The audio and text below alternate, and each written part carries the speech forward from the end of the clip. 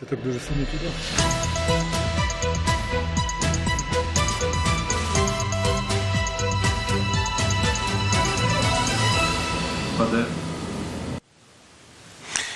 Вітаю наших глядачів. Ми продовжуємо ефіри наші вечірні. І зараз поговоримо про так звану ковідну економічну кризу. Вже є таке поняття. Е, Її подальший вплив на національну економіку України, прогнози та шляхи виходу. У нас в студії пан Тарас Сус, кандидат економічних наук, доцент кафедри фінансів Прикарпатського національного університету, і пан Сергій Васильченко, кандидат економічних наук, доцент кафедри теоретичної та прикладної економіки Прикарпатського національного університету. Вітаю вас, панове. Е, Вже за останні 12 років це вже здається третя от така криза економічна, яка на нас насувається. Е, Згадаємо, перший це був 2008 2009, потім 2013 2014. І зараз е, ми сиділи з вами у цій самій студії 12 лютого. Ми говорили, що насувається якась Неприємність. неприємність, яка вже очевидна, на, ваш, на вашу думку, вже тоді була. Я так розумію, що це пандемія тільки прискорила цей процес. Ну так, ну взагалі економіки вони циклічні, а економіка завжди розвивається хвилеподібно. То росте, потім падає. Тому цьому нічого нема такого, знаєте, аж дивного. А хіба що в нашому випадку, якщо говорити про економіку України, зле те, що ми після криз відновлюємося дуже маленькими темпами. Оці 3% річних вони не розв'язують проблем нагромадження капіталу, економічного росту і добробуту населення. Нам треба більше. І отут головна проблема. А якщо взяти статистику, то за перший квартал цього вже ось цього року економіка України втратила 1,5%. І падіння прискорюється. У другому кварталі вже 11% і планується. І таким чином криза поглиблюється. Тобто ми прискорюємо своє падіння. В результаті набираємо цей весь загальний такий фон падіння, який потім дубашка компенсувати під час підйому. Ми ж говорили про той сніжний комік. Так, це, так, це проблема. Бо от коли економіка починає падати, вона падає прискорено, так званий ефект мультиплікатора. Тягне за собою потім вторинні так звані наслідки. От, ну, от, наприклад, вторинним називається це зниження споживання. От споживачі під час спаду економіці відчувають, що їхні доходи падають і починають менше споживати, відкладати споживання. І в результаті торгівля постраждала на 15% за цей період. Скажімо, такі, така галузь, як транспорт на 95, це взагалі безпрецедентно, вона повністю, повністю був зупинений. Фактично наслідок цієї кризи. Ну, а, ну, врешті, так, основна проблема в тому, що наша економіка буде відновлюватися дуже важко. І тому відсотки економічного росту нам потрібні вищі. Оця проблема. А от тут, чому так буває, це ціла історія. А Так. направду, чому так буває? Чому такі вразливі ми, українська економіка, до таких криз? Е, Пане Тарасе, приєднуйтеся до нашої що розмови. треба розпочати з е, основ. Е, Вони полягають у так званому Вашингтонському консенсусі, коли е, міжнародні рад- радники радили Україні вільний ринок, е, відповідно. вільне перетікання капіталів. І е, це привело до того, що Україна, не захищаючи свого ринку, не захищаючи своїх виробників, е, скотилася до сировинної економіки. Сировинна економіка плюс види діяльності зі спадною віддачею, е, зокрема, і агропромисловий комплекс. Багато на сьогоднішній день людей говорять про те, що це є драйвер економіки, про те, що сьогодні це безумовно є великий.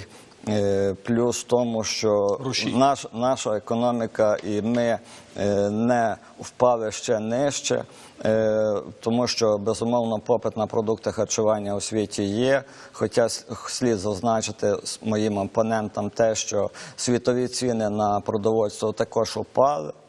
Е, Крім цього, необхідно сказати про те, що е, світ після коронавірусу він буде змінюватися. Він буде змінюватися і у перегляді тих підходів, які на сьогоднішній день існували. Є дві точки зору. Що одна точка зору в тому, що людство повинно об'єднатися по тих викликах які існують, зокрема, це зміна клімату, зокрема, це пандемія, яка на сьогоднішній день лютує у світі.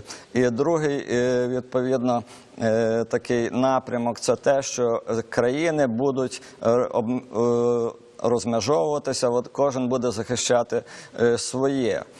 Я підтримую ту ідею колишнього міністра фінансів Польщі Гжезуша Колотка про те, що нам треба переходити до концепції відповідно економіки прагматизму.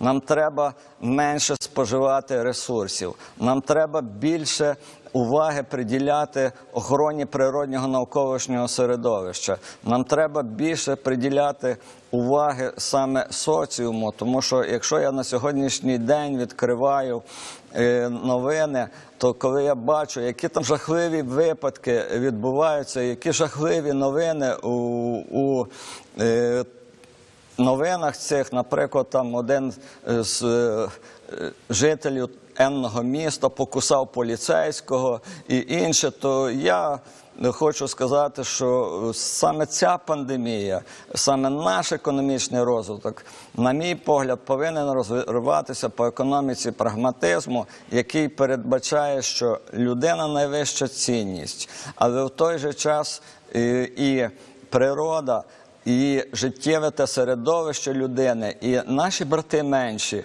також потребують захисту, потребують уваги і не шаленого гонит, не шаленої гонитви за добробутом, за статками і так далі. Я звернуся до е, відомої пісні про те, що домовина не має кишень, і ми нічого не візьмемо, а нам треба залишити в цьому житті про, про себе і своїм поколінням відповідно придатну для життя е, Країну і світу, землю. країну е, і е, навколишнє природнє середовище. Дуже би хотілося, щоб вас почули олігархи наші. Але ми зараз хочемо почути нашого глядача, який зателефонував. Алло, ми вас уважно слухаємо. Зрозумів. Добрый вечер, студия. Добрый вечер. Мне бы хотелось все повязать вместе. И Коронавирус, и экономику. Из-за коронавируса также у нас экономика падает и будет продолжать падать. У меня вопрос такой, что нас все-таки ожидает вторая, третья волна коронавируса, и экономика будет дальше продолжать падать.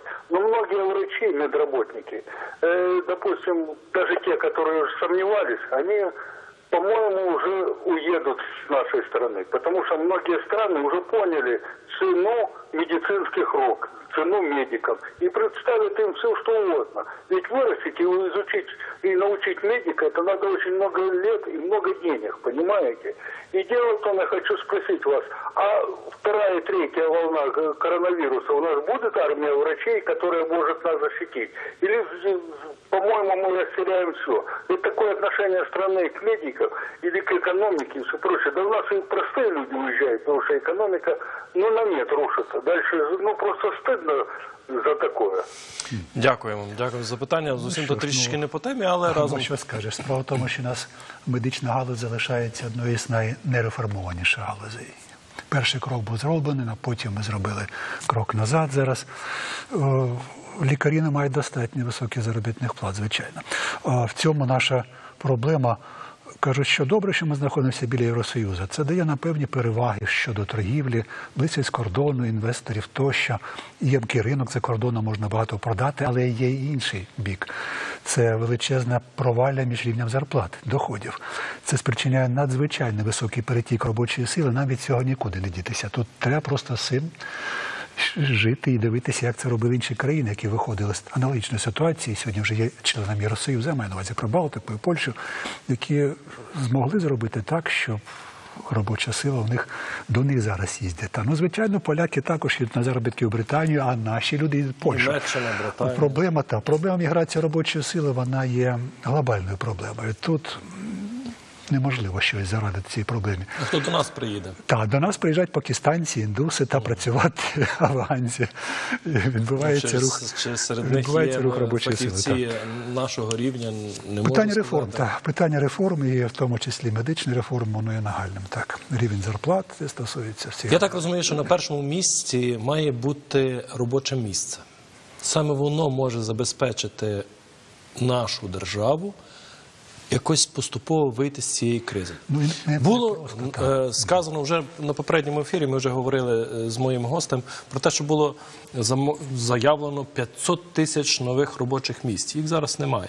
У вас, як економістів, які зауваження зараз до наших мужів владних? Ну, от та проблема, про яку ми щойно з вами згадували. Вони створюють робочі місця, вони зобов'язали створювати півмільйон робочих місць. Прекрасно.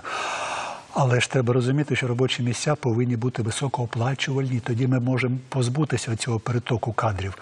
Або робоча сила дуже рухлива, вона може поїхати за кордон. Нам пропонують 6-8 тисяч гривень і працювати укладчиком, будувати дороги. Ну, це, на мене, такі наївні роз, е, такі прогнози урядів щодо працевлаштування цих робітників. Вони не поїдуть. Ну, скоріше за все, не залишаться тут в країні, будуть виїжджати. Тобто питання залишається актуальним зв'язку з тим, що в нас немає високооплачуваних робочих місць. А вони будуть виникати тоді, коли робочі місця будуть високотехнологічні. От тоді зарплата буде висока. А тут починається ланцюжок. А як їх створити? Ці високотехнологічні робочі місця. А треба інвестиції. А та звичайно, це процес дуже простий. У цьому світі вже випробуваний. Можна роками чекати, поки наші олігархи назбирають гроші, будуть відкривати такі робочі місця. Ой, не вірте. Ми не віримо та в це скоріше. Можна другий варіант піти. Уже нагромаджений капітал у світі, починаючи з 2012 року, а, кількість прямих іноземних інвестицій, що отримують країни, що розвиваються, зрівнялися з тими, що отримують високорозвинуті країни. Раніше такого не було. Раніше всі інвестиції протікали з розвитої країни в іншу розвинуту, бо там відповідний рівень кваліфікації, робочих місць, оснащення інфраструктури і так далі. Сьогодні вже країни, що розвиваються, підтягнулися так і можуть запропонувати достатньо освічену робочу силу, дешево, з розвинутою інфраструктурою, і капітал той починає йти ну, з умов звичайної юридичної захищеності. А ось ми не можемо створити такої умови для притоку капіталу, і тому ми будемо відставати в залученні іноземного капіталу. Як наслідок уже і робочі місця ми не зможемо створити високо продуктивні і з високого рівня заробітної плати. Ну, от такий ланцюжок. Ну, інвестиції, якщо говорити, е, я з своїм колегою е, частково погоджуюся. Чому? Тому що інвестиції повинні залучатися все-таки е, на е, такому рівні е, патріотизму. Чому? Тому що досвід Китаю показав, що залучення інвестицій. Е, Там було досить чітко продумано. Мається на увазі те, що інвестиції у високотехнологічні галузі. е, Далі в них була умова. Я про це вже говорив. Про те, що от ми вам гарантуємо стабільну політичну ситуацію, ми вам гарантуємо стабільну відповідно податкову систему. І поряд з цими е, гарантіями вони ставили завжди одну вимогу. Е, Ця вимога була дуже проста і універсальна. Вона вона полягала в тому, що від іноземних фірм вимагалося, щоб рівень технологій був такий самий, як на мате- е, на китайських підприємствах, був такий самий, як на підприємствах материнської фірми. І це надзвичайно важливо. Я зустрічав матеріал про те, що країни Європейського Союзу жаліються на те, і що Китай від них вимагає не тільки на сьогоднішній день е, залучення цих технологій, тобто їх імпорту, але він вимагає зараз і проведення прикладних досліджень, і проведення відповідно технологічного е, переоснащення підприємств на, на сучасному рівні. Е, Якщо говорити про е, високопродуктивні робочі місця, то хочу сказати, що на мою точку зору вони починаються з, з дитячого садочку. Чому? Тому що людину треба виховати. Я дуже часто читаю коментарі. е, І коментарі е, стосовно економічних, переважно подій і так далі. Що я замітив таку е, особливу українську деталь? Там все ганять розумієте, вживають ненормативну лексику і так далі. Я розумію, що вони випускають пару, але там немає жодного конструктивізму. Нам треба зрозуміти і сформуватися як нації, що ми такі є. Але нам треба йти до більш цивілізованого світу, і треба робити наголос не просто геть ганьба, а нам треба робити наголос на тому, що як зробити, щоб усім у цьому непростому світі ринкової економіки було добре. І тут же я хочу привести приклад багатьох країн, зокрема Ізраїлю, де е, відповідно дають людині повністю себе реалізувати. Людині дано Богом талант. Я скільки вже років працюю при Карпатському університеті, я вам хочу сказати, що наші роботодавці ніколи не прийшли до нас і не сказали. Ви знаєте, нам потрібні висококваліфіковані спеціалісти, порадьте нам. Я не можу вийти перед студентами на лекцію і сказати їм, вчіться, будете успішними. Тому що успіх ваш це успіх в тому числі і країни. Тобто і не що? будете виїжджати, будете тут працювати. І ще одна ремарочка, вона полягає в тому, що заробітні плати дуже тісно корелюються з продуктивністю праці. У нас всі ті виробництва, які на сьогоднішній день в Україні значно поступаються продуктивністю праці. І треба саме на цьому наголос робити на продуктивності праці. Тепер, що стосовно телеглядача, який дуже правильно говорив, я низько схиляю голову перед медиками їхньою працею, але в той же час ми повинні самі собі сказати, гроші ні звідки не, не появляються і їх треба заробляти. Чи готові ми пожертвувати і дати ці кошти відповідно медикам? Мається на увазі через медичне страхування, через відповідно тиск на своїх депутатів, на політичні партії і з вимогою, щоб вони розглядали актуальні питання стосовно не тільки 300-відсоткового е, преміювання медиків, які працюють сьогодні. Треба дивитися далі, дивитися на те, щоб молоді люди могли відповідно навчатися, щоб вони могли одержувати нові знання, щоб вони могли стажуватися за кордоном, щоб вони мали перспективну роботу тут, щоб вони могли себе реалізувати повністю. Бачу, пане, пане Тарасу, що вас це болить, е, направду болить. Е, Але маємо телефонний дзвіночок і хочемо дати слово нашому глядачу. Алло. Добрий вечір, студія. Добрий вечір. Знаєте, так слухаю, цікаво, дійсно. Якби так, якби так все у нас було, як ви бажаєте, то я думаю, що ми б, напевне, Європу пере- переклюнули з нашою країною, з нашими ресурсами в країні. Е, значить, знаєте, що би першим, що, щоб зайшов до нас інвестор, треба зробити? Те саме, що, що є зараз у Кореї. Закон. Украв тюрму, але реальну тюрму. Не в інші двері, щоб вийшов, розумієте? Вбив, значить, смертна казнь. Насилував смертна казнь. Розумієте? Ви кажете, зі садочка починати. Ви бачите, що в садочку робить? Крайнього не знайдеш. Дитина річна померла. Правильно?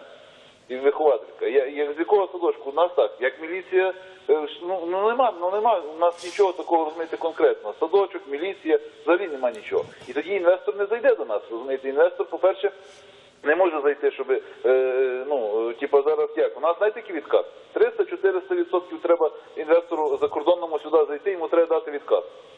Ну, ви погоджуєтеся зі мною? От чоловік е, головою, махає. Бачите, погоджується. То який інвестор до нас зайде? Наші всі тікають звідси, ви подивіться, що повідкривали наші е, центри ці візові. Все тікає, все, паспорти і нема. Не буде нічого, хочуть добити, а прикриваються цим вірусом. Нам не треба розуміти вірус. Вірус це звичайно це є постійно, як люди і від інфаркту, від інсульту, від вірусу, так же само все. В Європі це інше. Розумієте, Європа підніме себе дуже скоро, а ми дуже довго будемо розуміти, так як війну. От війна, війна, війна, вже йде 6 років війна. Не можна зупинити. Таке саме криза, криза, криза, коронавірус і нічого не буде толку. Дякую. Така, як- дякую. Дякую вам за дзвіночок, за вашу думку. Трішки так песимістично. Ну, але тим не менше слухач абсолютно правий глядач наш, тому що все починається справа. Юридична захищеність інвесторів, прав власності, з цього починається інвестування. До того часу нічого не буде, звичайно. Ну, це можна, про це ми вже говорили багато А що би ви сказали про так званий е, економічний націоналізм, який пролунав з уст нашого прем'єр-міністра Шмигаля? Ну, до речі, там звертаємося до нашої антикризової програми зразу, так, і там передбачено порядка 230 заходів, що пов'язані з фінансуванням галузі і на користь переважно національного виробника. Це прекрасно. Так повинно бути, звичайно. Але маленькі, але так тут у нас декілька є проблем. Справа в тому, що ми члени СОТ, Світової організації торгівлі. І якщо ми будемо захищати таким чином національного виробника, що не пускати імпорт, так або абсолютно обмежувати його, нам це не дозволять зробити. А як вільна торгівля з Європою? Так, от там в тому то і справа. Безмитна торгівля. Ми взяли на себе ці зобов'язання. І тому так чи інакше нам треба конкурувати з імпортом. Ну, з одного боку, з іншого боку, погодьтеся, що сьогодні йде розподіл праці. Світовий розподіл праці це сучасна тенденція, вона поглиблюється. Правда? Ну, звичайно, країни спеціалізуються на окремих ринках, от, на окремих товарах, і конкуренція між ними загострюється. Е, Відповідно, ми не можемо робити все вдома самі. Бо тоді ми будемо відмовлятися від дуже цікавих інноваційних речей, які можна купити за кордоном, але не можемо зробити самі. Отже, питання не в тому, щоб не пускати імпорт, а в тому, щоб нарощувати свій високотехнологічний експорт, багато продавати і багато інноваційного, такого, що в нас немає, купувати. Оце драйв сучасного економічного розвитку. Міжнародна торгівля стає сучасним, так мовити, драйвером, я так вважаю. Вона розвивається швидше, ніж глобальний ВВП. Ріст світової економіки поволіше, ніж ріст міжнародної торгівлі, тому що вона сьогодні виступає цим двигуном економічного прогресу в період глобалізації, коли всі країни починають спеціалізуватися так на окремих видах продукції, операцій, послуг тощо. Ну а от така, така перспектива. Така так. от ситуація. Але треба оця зараз на експорт більше. Так. Зараз е, ця війна, яка вже ну очевидно, між е, Сполученими Штатами і Китаєм, яка вже ну виливається в різні звинувачення щодо приховування поширення коронавірусу з боку США. С- е, Китай звинувачує, що це це неправда, ВООЗ замішане. Чи може Україна скористатись цього? Залучити оцих інвесторів, які йшли в Китай, а знаємо, що виробництво деякі вже країни відмовляються е, розташовувати на території цієї країни. Можемо ми з цим скористатися? Ну, Ми можемо скористатися, але я хочу повернутися все-таки до запитання телеглядача. І хочу сказати, що ми чомусь завжди себе применшуємо, ми не вміємо е, відповідно показати, що ми дійсно нація сильна, розумна і. е, В якому плані я маю на увазі? Ми чомусь завжди киваємо на е, іноземного інвестора. Але хочу вам сказати, ви поспілкуйтеся з іноземними інвесторами, вони ніколи не зайдуть в країну, якщо це не буде спекулятивний капітал, або якщо це не буде вигідно або надійно. Тобто, якщо ми не говоримо, відкидаємо на сьогоднішній день спекулятивний капітал, ті ж ОВДП і так далі, то е, все-таки е, він зайде сюди тільки тоді, коли буде комфортно національному інвестору. І треба починати з національного інвестора. Так не хоче Тепер, якщо говорити, е, ну от я говорив про те, що виховання з дитячого садочка. В чому воно полягає? Дивіться, недавно от, читав інформацію про те, що відбувся е, злив інформації про те, що 60 е, відповідно фірм мали офшорні рахунки, там екс-депутати, екс-чиновники, олігархи в офшорних зонах і так далі. Хочу сказати, що Україна за час незалежності ця цифра, напевно, вже збільшилася дуже сильно, але ту цифру, якою я оперував, то вивели з України 140 мільярдів доларів. Е, То скажіть мені, ці інвестиції нам поки що не посильні, ми їх не бачимо. Треба створити відповідно такий е, клімат, от саме.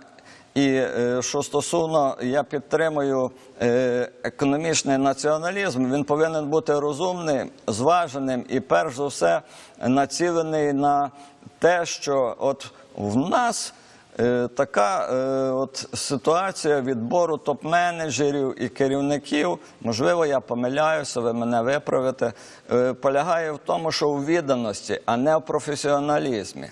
Було І завжди. нам потрібно саме відійти на критерії того, як я, я е, звертаю увагу наших слухачів на почитати книжку, зроблену в Японії Акіо Моріта, як він говорить там, яким чином е, ро- рос- ростуть кадри е, цієї транснаціональної корпорації. Ви будете здивовані, але син Акіо Моріти, одного з співзасновників фірми Sony, не був членом правління. Він працював там, де він міг принести найбільшу користь. Тобто медіахолдингу е, даної компанії. Пане Тут Тарасу, ну не буде у нас цього. Ну ж не буде, бо, бо, бо ми не той менталітет маємо. У нас а стосовно інвесторів, перелік всіх інвесторів обмежується переліком олігархів в нашій країні. О, І от щоб подолати цю проблему, треба запускати іноземні інвестори, щоб вони розбавили цю гримучу суміш. ну не буде. нашої- Ну, Ми будемо чекати, поки з дитячого садочку прийде вихований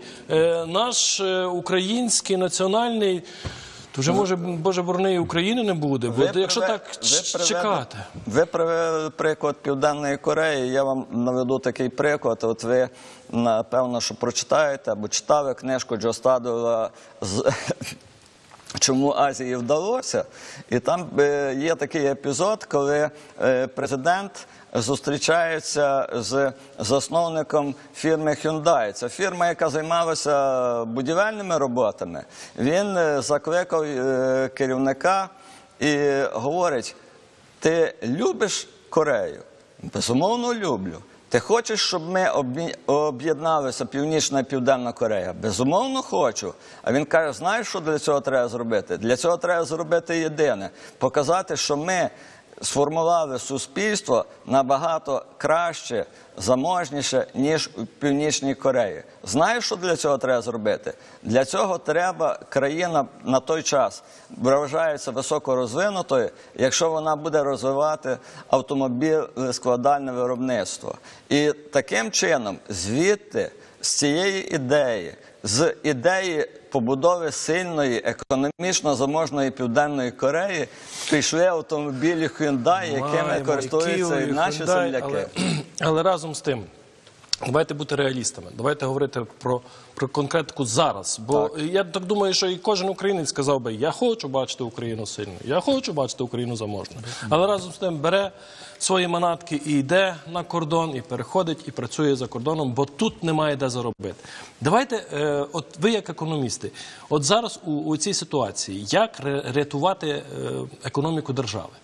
Це що? Закривати кордони і перераховувати, хто виїхав і скільки привезе е, коштів, перейшле сюди. Яким чином робити так, щоб ми нарешті були не сировинним і не трудовим додатком? Ну а подивіться, по-перше, повертаємося ще трошки про нашу антикризову програму, так яким чином рятувати економіку. Зараз питання, щоб не впасти занадто сильно. Це основне питання. Питання реформ сьогодні економічних. Ну поки що, поки що складається. Нам треба рятувати зараз. Обсяги національного виробництва. І якщо фонд для боротьби з коронавірусом у нас порядка 65 мільярдів гривень на сьогодні, то подивіться, враховуючи, що спад в економіці буде ну, за різними оцінками до 8%, то ми втратимо 4 трильйона це наш гривень, це наш ВВП. Отже, множимо на 8%, отримаємо 320 мільярдів. Ми втрачаємо. А нам уряд збирається, так би мовити, компенсувати, ну це за кращих іще варіантів, якщо будуть кошти, звичайно, ці речі. Лише 60, це приблизно 18-19% від втраченого ВВП. Тобто сподіватися бізнесу і людям на підтримку доходів серйозних від уряду сьогодні не можна. Хотілося побажати, звичайно, успіхів нашому землякові в цих зусиллях, так, а, аби утримати економіку. Ну це буде дуже важко. Ми не маємо достатньо коштів бюджету. Тому таких ось ситуативних зараз у нас інструментів мало. Залишається єдине, коли економіка падає, треба як можна збільшити державні видатки. Що вони, в принципі, роблять? Уряд робить це правильно. А ми позичаємо зараз кошти і збільшує державний борг іще на 3 мільярди. Ну це правильно. Ми не піднімаємо податки. Навпаки, скасовуємо ЄСВ для деяких категорій. Так, ПДВ галузі культури, скажімо так, це передбачено цією програмою. Тобто, аби стимулювати ріст економіки, а зараз не до владнання питань з дефіцитом бюджету. Нам треба якось запускати економіку. Просто на для цього дуже мало коштів. Подивіться, її державний бюджет недоотримав за а, минулі місяці, наприклад, в травні, надійшло на 38 відсотків менше від попереднього. Тобто на 40, 40%, 40 мільярдів та 40 мільярдів ми не отримали. Це серйозні кошти. І тому от питання щодо Тобто, щоб краще, щоб ще глибше не Так, це основне питання, яке нам сьогодні треба вирішувати. А потім, звичайно, питання структурної реформи, залучення інвестицій. Це стратегічні питання, які треба робити. Бо сьогодні міжнародна торгівля, а відповідно експорт високотехнологічної продукції стає номером один руху кожної економіки. До речі, от і наша ця, що ви згадали, криза китайсько-американських стосунків саме стосується цього, бо це ринок, який треба поділити, а конкуренція загострюється міжнародна. І Китай з Америкою, бачите, починає торгівельні війни просто не на жарт. Дуже довго вже очікує на е, те, щоб поставити своє запитання глядач. Ми вас уважно слухаємо і вибачаємося, що заставили чекати. Алло? Ми вас слухаємо. Алло, добрий вечір. Добрий вечір. Добрий вечір. Е, У мене таке питання. От е, правильно говорить професор е, економічний націоналізм, економічний націоналізм. Продовжуйте. Продовжуйте, будь ласка. Ж економічний націоналізм роблять Украї... патріоти, якісь націоналісти при владі мають бути. А в нас е, в, в, в- в Кореї корейці, вони в них одна мова. А в нас є половина держави не хоче української мови. То як про- як робити з цими, людьми української національної економі... е, еконо... е, національної економіки? Чудо.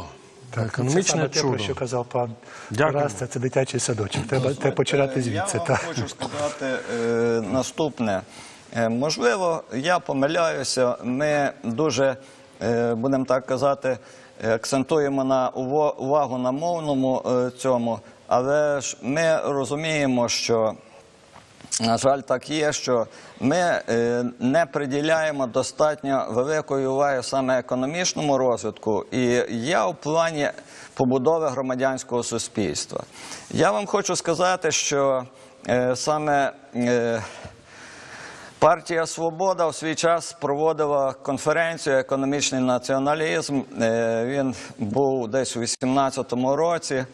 І, е, тоді я акцентував увагу, зокрема, й очільникам цієї партії на обласному рівні про те, що необхідно провести громадські слухання. Це тоді тільки почалася ця хвиля трудової міграції, тому безвіз почався і так далі. Я казав, треба провести слухання, треба закликати, закликати всіх роботодавців, виконавчу владу, законо, е, науковців. Я тоді казав, що я готовий прийняти участь у такій дискусії і виробити спільне рішення про те, яким чином, тому що це є колосальна загроза.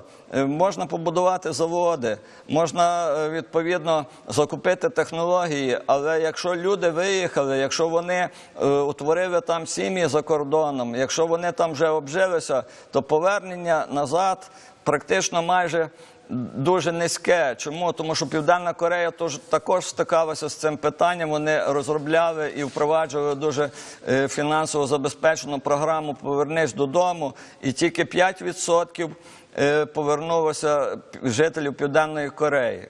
Е, Тепер, якщо говорити про саме громадянське суспільство, ну я вам наведу такий дуже простий приклад українського менталітету. Я живу в селі. І там не завжди є асфальтовані вулиці. Там є вулиці, які є, будемо так казати, підсипані гравієм. І от сьогоднішня погода, дощі утворили колосальні колобані, так що заливає цілу вулицю, неможливо пройти. І ви розумієте, що я е, відповідно е, мушу навіть там, де я живу на асфальтовій вулиці, е, я мушу е, відповідно їхати там, де вулиці є, але я там ходжу е, чи проїжджаю і спускати воду. Це всього-навсього три хвилини роботи. Спустити воду, щоб люди могли пройти. От українці чомусь мене це питання дуже турбує. Українці не можуть подумати про свого ближнього, не можуть йому, йому подумати, а як люди, які йдуть по цій вулиці, як вони будуть пройти. Вони кажуть, а на що ти спускаєш тут? Мені ця вода в мій рів, мені це не потрібно, мені тої води тут не потрібно і так далі. Але за свого ближнього, хоч християнство це поважає і так далі. Це питання. Люди не думають. Питання Це виховання. наболіло, там наболіло. Е, Але разом з тим ну, не, не, не можу погодитися, що ми вже аж такі погані. Бо Ні, ні. настільки працелюбної нації, ну важко знайти, напевно, у світі, де тільки наших людей немає. Здатні об'єднатися. Та. Це Є, є телефонний дзвіночок, ми вас уважно слухаємо. Алло? Добрий вечір. Так ще хотів доказати не договоривши з вами. Е, от попередній дозвонювач е, сказав, що треба ну, з мови починати і так, що ніхто українською мовою не розмовляє. Ви розумієте, всі ми є українці. В паспорті у кожному, хоч навіть російською мовою написано, але все рівно у нас є герб, ми є українці. У нас сино-жовтий прапор, правильно, всі ми є українці. Але ви розумієте, сьогодні їдучи пижиком, сідає бабка у пижик, вона не каже ні слава Україні водійові, ні, ні героям слава, правильно? Ні в аптеку вона не так само не каже. Розумієте, а він їй каже, платіть. 6 гривень. А вона каже, немає, вона розвертається і виходить з. Ну то скажіть мені, як про які може йти у нас націоналізм? Люди практично грошей вже не мають. То про це треба говорити. Ми всі знаємо, що ми є українці. Розумієте, так само починалося в 2014 році. Мова, мова, мова. До чого дійшла мова? Вибили народ, тепер з коронавірусом витроїли. І що далі? Куди ще нас що нас ще чекає? І війна не закінчена. Розумієте? Ось такої мови. Треба конкретику, розумієте, всі ми є українці, всі ми говоримо українською мовою, будемо говорити. І наші діти, але є ще такі, розумієте, коріння, що позалишалися от старші. Е, От візьміть, що ти підеш, батьки скажеш, говори мені українською мовою, як вона роками говорила, правильно? Чи ні? І її діти почали так розмовляти. Дякую. Дякую вам. Дякую вам за активність. За... Дозвольте конкретику. Е, Якщо говорити е, відповідно про наших відповідно підприємців, громадян і інших, безумовно, нам бракує толерантності, але нам бракує такої дуже простої риси. Е, Розумієте, коли у нас відбуваються такі епохальні події, вибори. е, Чи до то президента, чи то Верховної Ради і так далі, е, то вони відбуваються по принципу, що хтось виходить і каже, вибери мене. У громадянських суспільствах там лідери вони викристалізовуються. І саме громадянське суспільство каже: от ти займи цю посаду, ти піди, ти реалізуй себе, ми будемо тебе підтримувати, ми будемо тебе е, відповідно сприяти е, твоїй програмі і будемо безумовно тебе контролювати і тебе питати. Е, якщо говорити, ми говоримо сьогодні про економіку, трошки більше пішли на суспільство, на громадське громадянське суспільство. Я хочу вам сказати, тут секретів. Е, Немає тут дуже простий секрет. Це є експортна дисципліна. Багато країн пройшли через неї. В чому вона полягає? Е, І я рахую, що це якраз той речажок, який може вивести Україну з сировинного придатку. В чому сутність експортної дисципліни? Дуже проста. Всім оголошуються умови підтримки. Вона полягає в тому, що якщо ви експортуєте продукцію, нехай вона буде на сьогоднішній день не з високою доданою вартістю, нехай з середньою, але сюди категорично не входить сировина. Значить, якщо ви експортуєте, ви одержуєте відповідно державні пільги і підтримку. Якщо ви експортуєте сировину, ви повинні певний відсоток податків сплатити для того, щоб створити фонд інноваційного розвитку і підтримки науково-ємних галузей. О, Таким чином ми зможемо вийти. В іншому випадку, коли ми будемо говорити про іноземних інвесторів, про е, відповідно науково-ємке виробництво і так далі, це безумовно будуть не продумані до кінця стратегії. Оця стратегія вона показала свою ефективність. Я її підтримую. Якщо говорити про програму уряду, е, що я підтримую, і безумовно це треба розвивати і на регіональному рівні. Зокрема, е, на сьогоднішній день ми.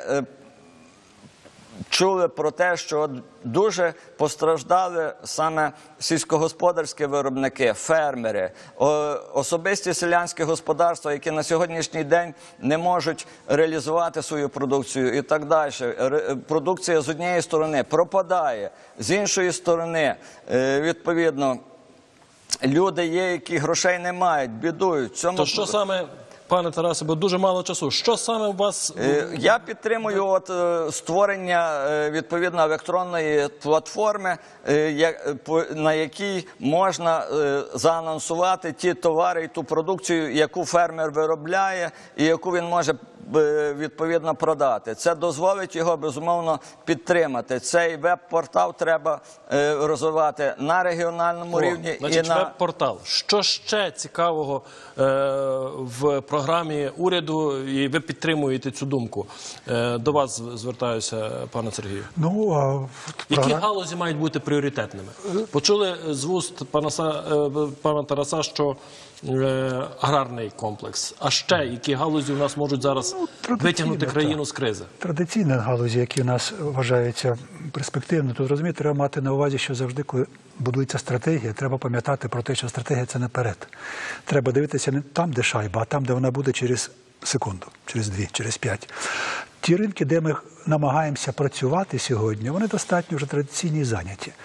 А от е, що буде через років п'ять? Які ринки ще не зайняті, а ми там можемо бути вже. От тут Дайте цей думати. рік дожити нормально. Що ми маємо зараз робити? Ну, ну я ж сказав, та у нас сьогодні одні проблеми. Сьогодні у нас проблема збільшення поточного споживання. Так, Якось спожи- споживчий, споживчого е, попиту громадян, ну і витрат відповідно на підтримку бізнесу. Ви так. бачите у наших керівних колах фахівців зараз?